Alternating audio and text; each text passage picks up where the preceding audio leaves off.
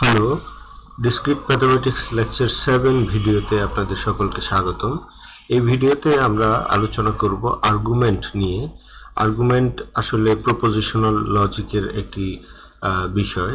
এই propositional logic বিষয় নিয়ে আমাদের ধারণা থাকতে হবে প্রথম যেটা লজিক্যাল অ্যালজাব্রার অথবা প্রপোজিশনাল অ্যালজাব্রার একটি পার্ট এবং আর্গুমেন্ট অংশে আমরা আলোচনা করব লজিক্যাল অ্যালজেব্রারই একটি বিষয় যেটা দুইটি অংশ নিয়ে আসলে তৈরি হয়।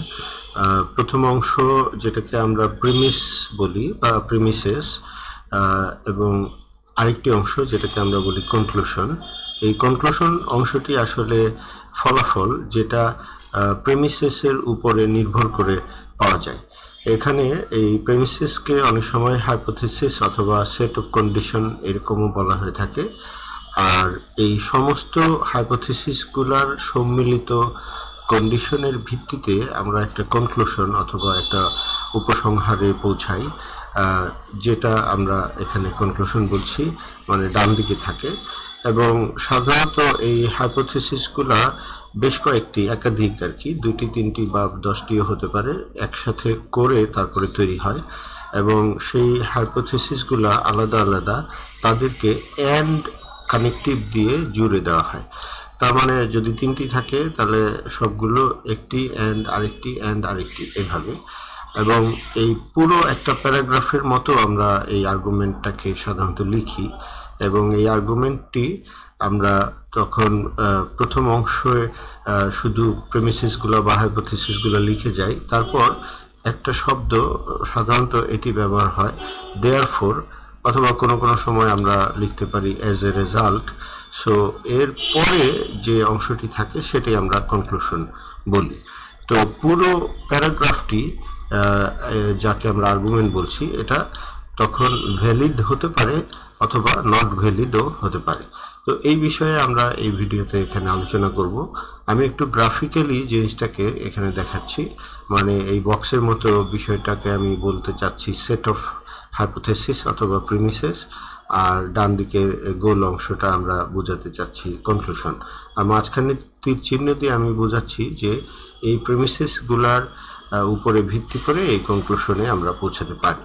তার মানে এটা কন্ডিশন হিসেবে আমরা অনেক সময় লিখি if this this this then it will happen এরকম বিষয়টা। তো এখন এই প্রেমিসেসের মধ্যে কিন্তু অনেকগুলা আমার ছোট ছোট হাইপোথিসিস থাকতে পারে, তিনটি বা চারটি বা পাঁচটি। এবং এই হাইপোথিসিসগুলো আমরা সবগুলো অ্যান্ড দিয়ে যুক্ত করে দিয়ে তারপরে পুরো হাইপোথিসিসটা আমরা পাই। তো এই হচ্ছে আর্গুমেন্ট সম্পর্কিত কথা। এখন আমরা দেখি পরের পেজে এই আর্গুমেন্টকে কীভাবে ভ্যালিড অথবা নট ভ্যালিড প্রমাণ করা যায়।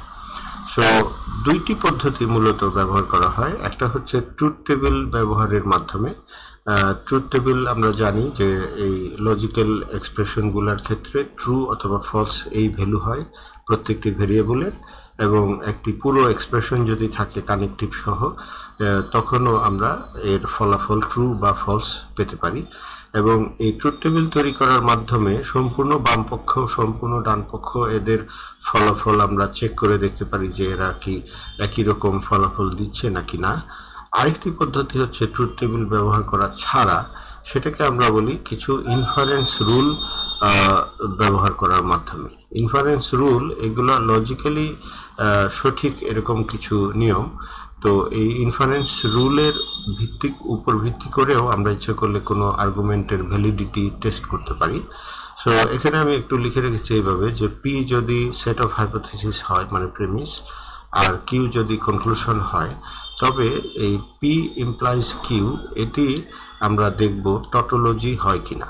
সো টটোলজি বলতে আমরা আসলে বোঝাচ্ছি এমন একটি এক্সপ্রেশন যেটা সবসময় সত্যি হয় মানে অলওয়েজ ট্রু তাহলে পি ইমপ্লাইজ কিউ যদি অলওয়েজ ট্রু হয়, তাহলে আমরা এই আর্গুমেন্টটাকে ভ্যালিড বলতে পারব।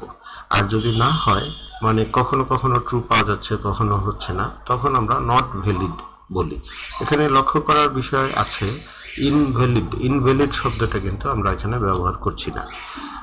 এটা ইংরেজি শব্দ হিসাবে ঠিক আছে, কিন্তু এখানে লজিক্যালি বিষয়টা ঠিক ম্যাচ করে না, কারণ ইনভ্যালিড বলতে ইংলিশে আমরা বুঝি যেটা ভ্যালিড না, আর এখানে একটা তিনটা পরিস্থিতি সৃষ্টি হতে পারে। একটা হচ্ছে ভ্যালিড পরিস্থিতি, আরেকটা হচ্ছে ইনভ্যালিড পরিস্থিতি, আরেকটা হচ্ছে ভ্যালিডও না ইনভ্যালিডও না, এরকম মাঝামাঝি একটা পরিস্থিতি। মানে কোনো কোনো সময় আমাদের ম্যাথমেটিক্যাল ফলাফল ট্রু আসতে পারে, কোনো কোনো সময় ফলস আসতে পারে। তো সেই জন্য আমরা ওই ইনভ্যালিড শব্দটাকে একটু অ্যাভয়েড করছি। আমরা বলি ভ্যালিড আর্গুমেন্ট অথবা নট ভ্যালিড আর্গুমেন্ট আর ইনফারেন্স রুলগুলার একটি লিস্ট বা ডান পাশে আমি এখানে দেখিয়েছি। একটা হচ্ছে এডিশন রুল তার নাম এবং এইখানে মূল বিষয়টি হচ্ছে P implies P or Q is a tautology মানে P implies P or Q এটা সবসময় টটোলজি হবে, এটাকে এডিশন রুল হিসেবে বলা হয় ইনফারেন্স রুল এখানে কিন্তু পি অর কিউ যেহেতু আছে আমাদের এখানে বাম পাশে যদি কিউ ইমপ্লাইজ আমরা বলতাম Q implies P or Q তবেও একই জিনিস হতো। সিম্পলিফিকেশন রুল একই রকম, এখানে বাম দিকে প্রেমিসেসের এখানে পি অ্যান্ড কিউ ব্যবহার করা হয়েছে। আর ডান দিকে হবে পি এটাও ডান দিকে কিউ লেখা যেতে পারত। আর মোডাস পোনেন নামের একটি ইনফারেন্স রুল আছে, সেটি হচ্ছে P and P implies Q এই পুরোটা একসঙ্গে যদি প্রেমিস থাকে, তবে এটা ইমপ্লাই করবে শুধু কিউতে আর মোডাস টোলেন একটি ই আছে ইনফারেন্স রুল সেখানে দেখা যাচ্ছে not Q and P implies Q এই বিষয়টা একসঙ্গে করে নট পি তাতে কনক্লুশন তৈরি করে। হাইপোথেটিক্যাল সিলোজিসম আরেকটি বিষয়, এটা হচ্ছে সাইক্লিক ইমপ্লিকেশন হয় মানে পি থেকে কিউ ইমপ্লাই করে এবং কিউ থেকে আর ইমপ্লাই করে, তখন আমরা ফলাফল হিসেবে পাই পি ইমপ্লাইজ আর মানে প্রথমটি এবং তৃতীয়টি। আর ডিসজাংটিভ সিলোজিসম আরেকটি ইনফারেন্স রুল এখানে দেখা যাচ্ছে P or Q and not P এরকম যদি থাকে, এটি ইমপ্লাই করে কিউতে এখন এই ইনফারেন্স রুলগুলো আমরা ব্যবহার করতে পারি, যেটা যেখানে ম্যাচ করে, আবার ট্রুথ টেবিলও করতে পারি, যদি কোনো আর্গুমেন্ট আমরা প্রমাণ করতে চাই। তো পরের পেজে আমরা একটি উদাহরণ এখানে দেখতে চাচ্ছি, যেটা দিয়ে আমরা বুঝতে পারব যে কীভাবে এই বিষয়টা ব্যবহার করা হয়। তো এখানে একটা আর্গুমেন্ট আমি লিখেছি। আর্গুমেন্টটি হচ্ছে এরকম it is not sunny today and it is cold full stop এটা হচ্ছে আমার একটা hypothesis if we go for walk that means it is sunny এটা হচ্ছে আরেকটা hypothesis if we do not go for walk that means we come back by a rickshaw so এইগুলো hypothesis তিনটা এবং তারপরে দেয়ার ফোর শব্দটি ইউজ করা হয়েছে। তার মানে দেয়ার ফোরের পরের অংশটি আমরা কনক্লুশন হিসেবে ধরব। We come back by a rickshaw so এখানে আমরা যদি ভেরিয়েবল নাম দেই, এক একটি অংশকে ভেরিয়েবল নাম দিলাম এ বি সি ডি এভাবে তো এখানে একটু নামের সাথে, শব্দের সাথে মিল রেখে আমি নামগুলো এস, সি, ডাব্লিউ, আর এভাবে দিয়েছি।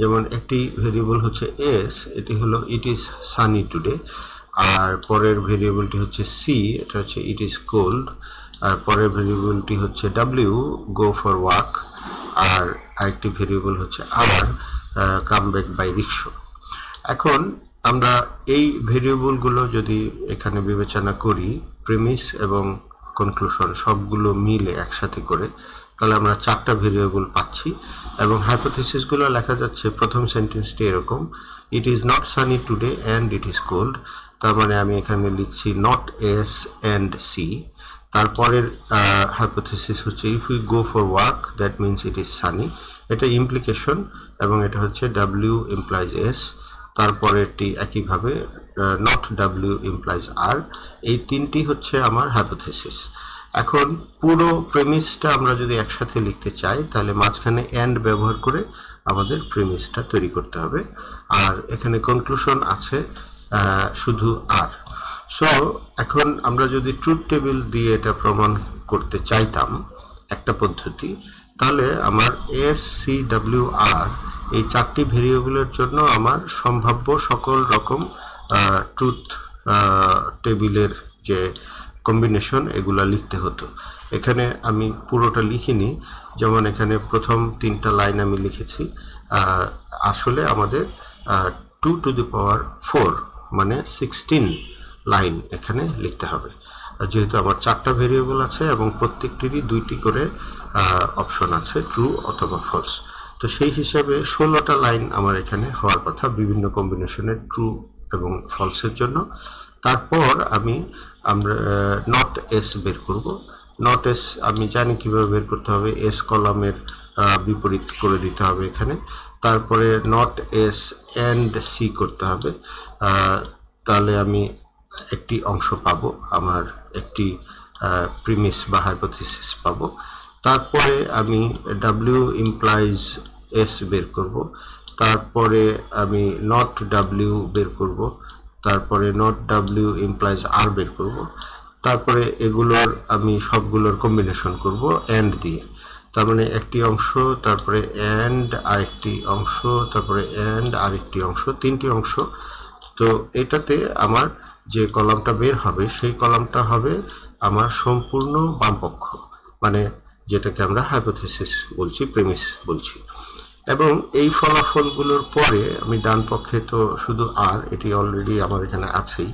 তখন আমি দেখতে পারব যে এই ফলাফলগুলো আর আর এর ফলাফলগুলো একই রকম আমার আসছে কিনা। মানে আমার এটির যদি একটি নাম হয় সব মিলে পি তাহলে পি ইমপ্লাইজ আর এটা আবার কেমন ফলাফল দিচ্ছে? পি ইমপ্লাইজ আর যদি দেখা যায় যে টটোলজি আমার আসছে সবগুলো ট্রু ট্রু ট্রু এরকম ফলাফল আসছে, তখন আমি বুঝতে পারব যে হ্যাঁ এটা একটা ভ্যালিড আর্গুমেন্ট যে আর্গুমেন্টটা দেওয়া আছে, এটা আসলে একটা ভ্যালিড আর্গুমেন্ট এই পদ্ধতিতে আমরা ট্রুথ টেবিল তৈরি করে এটা প্রমাণ করতে পারি।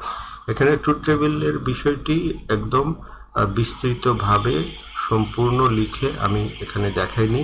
যদি আপনাদের এই ব্যাপারে ডিটেলস আর একটু জানার দরকার হয়, তবে আমার অন্য এই রিলেটেড ভিডিও আপনারা দেখে নিতে পারেন। আমি ধরে নিচ্ছি আপনারা এটা নিজেরা দেখতে পারবেন, অন্য ভিডিও আপনাকে হেল্প করবে। আর আরেকটি পদ্ধতি ডান দিকে আছে, সেই পদ্ধতিটা হচ্ছে ইনফারেন্স রুল ব্যবহার করার পদ্ধতি। তো এখানে আমরা একটি হাইপোথেসিস দিয়ে শুরু করলাম। প্রথম হাইপোথেসিস হচ্ছে নট এস অ্যান্ড সি এবং এটাকে সিম্পলিফিকেশন রুল দিয়ে আমরা ইচ্ছা করলে নট এস লিখতে পারি। আমরা সিম্পলিফিকেশন রুলে এটা দেখেছিলাম যে মানে P implies P and Q implies P হয় অথবা কিউ হয়, যেটাই বলি। এখানে আমি নট এস এটা লিখেছি, কারণ এটা আমার পরবর্তী হাইপোথিসিসের সাথে একটু কাজে আসবে। সো পরের হাইপোথিসিসটা হচ্ছে ডাব্লিউ ইমপ্লাইজ এস তার সাথে আমার এই ফলাফলটাকে এন্ড করে দিলাম। এখন আমি মোডাস টলেন ব্যবহার করে এটাকে লিখতে পারব নট ডাব্লিউ আপনারা মোডাস টলেনের যে রুলটা, সেটা একটু দেখে নিলে দেখতে পারবেন যে কীভাবে এটা সিম্পলিফাইড হয়ে নট ডাব্লিউ আসছে। এরপর এই নট ডাব্লিউর সাথে আমি আবার থার্ড হাইপোথিসিস যেটা কিনা নট ডাব্লিউ ইমপ্লাইজ আর এটা ছিল। সেটার সাথে যুক্ত করে যেটা পাই, তাতে মডাস পনেন ব্যবহার করে আমরা এটা ইকুয়াল টু আর লিখতে পারি। মানে যেটা আমার মডাস পনেনের কনক্লুশন হিসাবে ছিল। তো সেখানে দেখা যাচ্ছে যে শেষ পর্যন্ত এই তিনটি হাইপোথিসিস একসাথে করে ইনফারেন্স রুল ব্যবহার করার মাধ্যমে ধাপে ধাপে আমার সর্বশেষ ফলাফল আসলো আর যে আরটি আসলে আমার কনক্লুশন আর এর মতো একই রকম। আমার এখানে কনক্লুশন আর হওয়া উচিত ছিল। আমিও হাইপোথেসিসগুলো একসঙ্গে করে ইনফারেন্স রুল ব্যবহার করে আর পাচ্ছি। তো এতে একই রকম এক্সপ্রেশন আসছে, তার মানে এরা আসলে একই ফলাফল দিবে। তার মানে এটা একটা ভ্যালিড আর্গুমেন্ট তো এই হচ্ছে একটা উদাহরণ আর্গুমেন্ট ভ্যালিড কি না তা চেক করার জন্য। এখন আপনাদের প্র্যাকটিসের জন্য আমি দুইটি অঙ্ক এখানে দিয়ে রেখেছি এবং দুইটিতেই দুইটি প্যারাগ্রাফ আছে দুইটি আর্গুমেন্ট এদের ভ্যালিডিটি চেক করার জন্য আপনারা একই পদ্ধতি ব্যবহার করতে পারেন। পদ্ধতি হচ্ছে প্রথম ভেরিয়েবলগুলো চিহ্নিত করতে হবে, তারপর হাইপোথেসিসগুলো তৈরি করতে হবে কনক্লুশনটা দেখতে হবে কি আছে। তারপরে ট্রুথ টেবিল দিয়ে হোক অথবা ইনফারেন্স রুল দিয়ে হোক প্রমাণ করার চেষ্টা করতে হবে যে সম্পূর্ণ হাইপোথেসিসগুলা আমার কনক্লুশনের সাথে ম্যাচ করে কি না যদি একই ফলাফল পাওয়া যায়, তবে আর্গুমেন্টটি ভ্যালিড যদি না পাওয়া যায়, তবে আর্গুমেন্টটি নট ভ্যালিড এই হচ্ছে কাজ করার পদ্ধতি। আমার personal website R L D world dot com আপনারা ফলো করুন। আমার YouTube channel R L D world আপনারা সাবস্ক্রাইব করুন। আর আমি আশা করি আমার অন্যান্য ভিডিওগুলোও দেখবেন। সবাইকে ধন্যবাদ।